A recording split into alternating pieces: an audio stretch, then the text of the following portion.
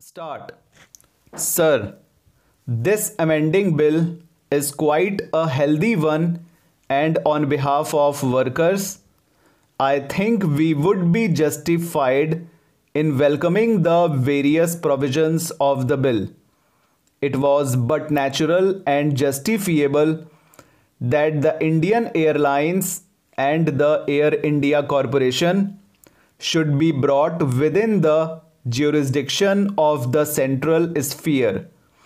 But at the same time, I take this opportunity to bring one particular fact to the notice of the Labour Ministry that the provisions of the Industrial Disputes Act are not being properly extended to the concerns that have already been brought under the jurisdiction of the centre.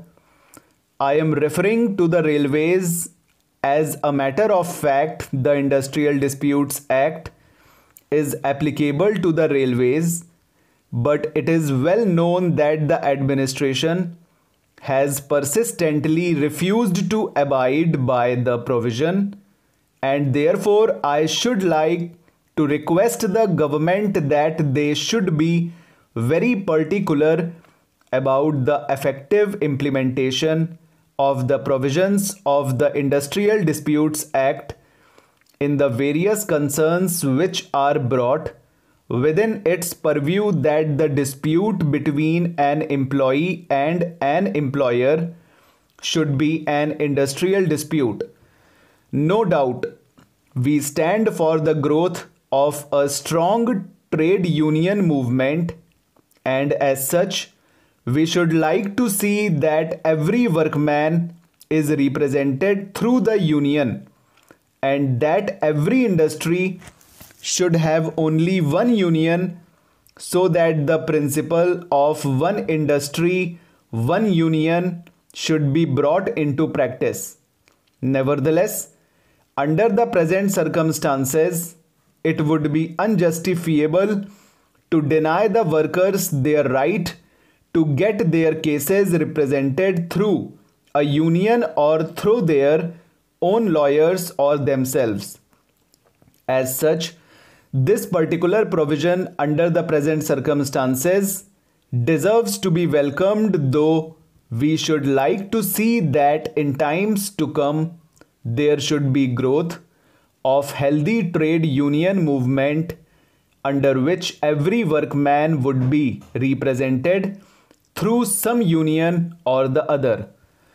The lay-off compensation would become payable for all the days of lay-off beyond the first 45 days whether the period is continuous or not.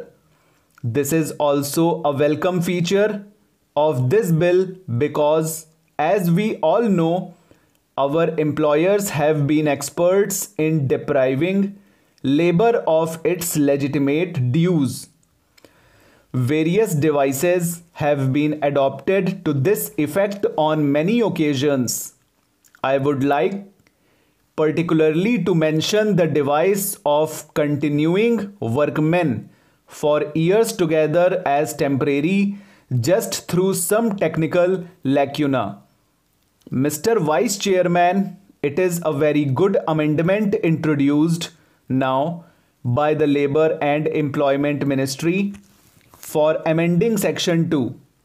It will stop the Indian Airlines and the Air India Corporation adopting a method which would be putting the public of this country to great difficulties as we have been experiencing.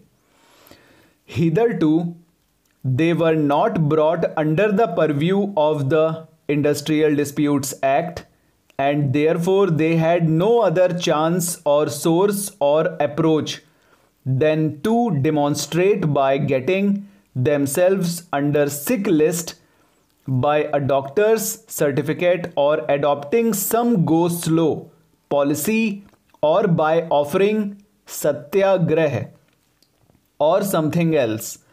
This introduction of the IAC and the Air India Corporation into the Industrial Disputes Act and bringing them under the purview of this act will avoid in the future such activities of the staff of these bodies. That has been one of the main objectives in the last session. When the Industrial Disputes Act was first amended, we had insisted on the government to see that these concerns are brought under the Act and a provision is made for them to seek the law instead of going in for indirect direct action.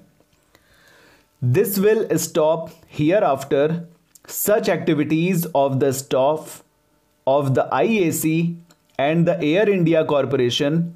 I do not find fault with the staff of the IAC or the Air India Corporation because there will be no smoke if there is no fire.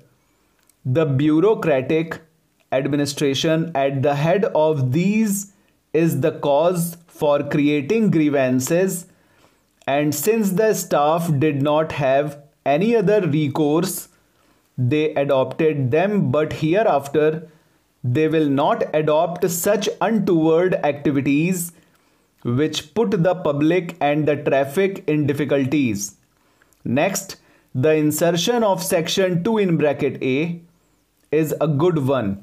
Discharges, dismissals, retrenchments or termination of the services of individual workmen will hereafter be deemed as an industrial dispute though some of the trade union organizations in this country may not like such an insertion because they will be thinking that they do not have sufficient membership in the trade union. We, true to our democratic socialist tendency and Gandhian philosophy, give democracy to everybody, and therefore, whether they join a trade union or not, we give them. Some trade unions do exploit the situation and live on such dismissals and even go to some of the administrators and managements and ask them to discharge some workers so that they will have some job to do. Such things hereafter will not be given room and the individual worker will have an approach to the court for getting redress of his grievances. Full stop over.